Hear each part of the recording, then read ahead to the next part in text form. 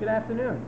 Uh, I'm here at the Lawrenceville Joe Canal's, and I'd like to introduce to you Marc Mondavi, who's here this afternoon to talk about his new wine and to sign some bottles and meet the public. Marc, how are you? I'm doing great. Good How to see you here at Joe Canal's. Pleasure. You want to tell us about your wine? Sure. Well, it all started around these divining rods. I'm a diviner, water witch, uh, doodle bugger, whatever terminology they use. But I find wells for many people, not just our family dinners, but friends, other vintners, uh, you name it, I dowse for them. And it's a very effective way for finding good wells uh, anywhere in the world, actually. I just happen to be from California. So our new brand is called the Divining Rod. Surprise!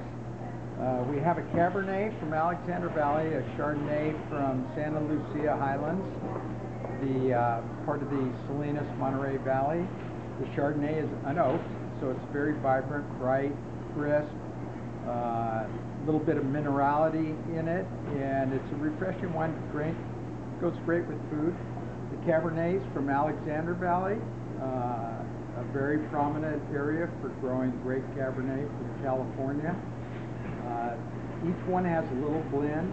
The Chardonnay has a little Viognier in it. The Cabernet has a little Malbec. Uh, very good forward fruit. Subtle amount of oak in the Cabernet. We want to accentuate the natural fruit characteristics. So another great wine to enjoy with food or just sit by itself. There we go.